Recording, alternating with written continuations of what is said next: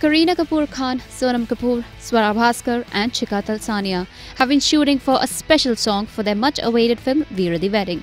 Choreographer filmmaker Farah Khan has choreographed this number, which also features rapper Badshah. The team wrapped up the shoot and posed for a photo together on the sets.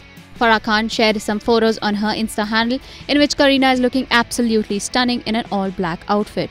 Sonam too rocked an all black outfit and teamed it with a stylish jacket. Swara Bhasker was all smiles in a casual outfit.